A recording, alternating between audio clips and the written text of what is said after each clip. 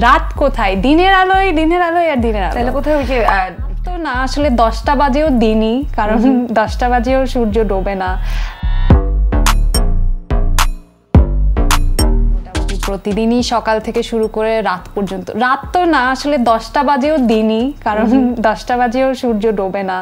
তো এটা একটু প্রথমে অ্যাডজাস্ট করতে কষ্ট হচ্ছিল যে আমি প্রথম মনে হয় তিন চার দিন লন্ডনের রাতই দেখিনি। কারণ শুটিং করে এসে এত টায়ার্ড থাকতাম ঘুমিয়ে যেতাম আবার সকালে উঠে আবার। আমি দেখি যে রাত কোথায়? দিনের আলোয় দিনের আলোয় আর দিনের আলো তাহলে কোথায় ওই যে ঢাকায় শুটিং বা দেশে শুটিং করতে গেলে যে শোনা যায় না যে হ্যাঁ, সানলাইট পাওয়া যাবে না এই টেনশন ছিল না। এটাই ভাবছিলাম যে আমাদের নাটক সব ওখানে করা উচিত কারণ আমরা যে দৌড়াদৌড়ি শুরু করে দিই না হ্যাঁ, হ্যাঁ, সানলাইটের পাওয়া জন্য যাবে না। এখানে আসলে আরামসে শুধু সানলাইট আর সানলাইট তো তারপর কিন্তু শুটিং এর কারণে আমরা বেশ মজার মজার বিভিন্ন জায়গায় গিয়েছি। সো আমাদের লোকেশন বলছিল অনেকগুলো। হ্যাঁ আমাদের লন্ডনেই টোটাল লোকেশন ছিল সাঁত্রিশটা সো এক একটা লোকেশন বেশ আনকমন একটু দূরে ছিল কিছু শহরের মধ্যে ছিল। সো সব কিছু মিলিয়ে মানে there were different sides of London I discover through this shooting because মানে কিছু জায়গা খুবই ডিফারেন্ট মানে মনেই হয় না যে এটা লন্ডনের পার্ট আবার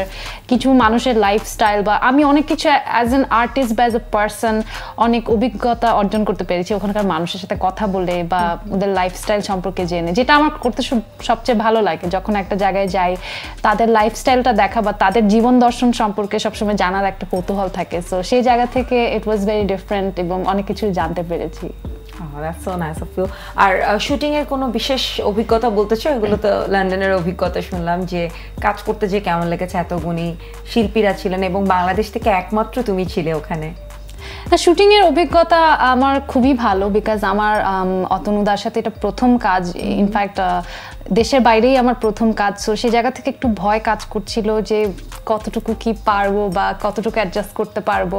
বাট আমার একটা বারের জন্য মনে হয়নি যে আমি অন্য কোথা থেকে এসেছি। আমার কাছে মনে হয়েছে আমি এই টিমের সাথে অনেকবার কাজ করেছি because it was so comfortable এবং অতনুদার কাছ থেকে অনেক কিছু শিখতে পেরেছি শর্ট টাইমে because he really knows what he wants and উনি খুবই পার্টিকুলার এবং ওনার একটা ভিশন আছে। সো সেইগুলো আমাকে খুব হেল্প করেছে এবং কৌশিক গাঙ্গুলির কথা না বললেই না।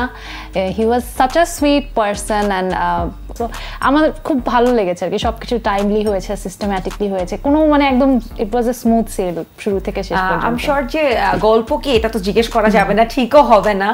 কিন্তু কি ধরনের কাজটা হচ্ছে এটা কি আমরা জানতে পারি? লাইক রোমান্টিক থ্রিলার কি ধরনের কাজ এতটুকু? মানে it it is kind of like আমি জনরা ঠিক বলতে চাই না যে জনরা কি হবে বিকজ আমি নিজেও জানি না বিকজ এখানে আসলে অনেকগুলো লেয়ার্স আছে। ইভেন এই মেয়েটার একটা জার্নি আছে। মেয়েটার একটা সার্চিং আছে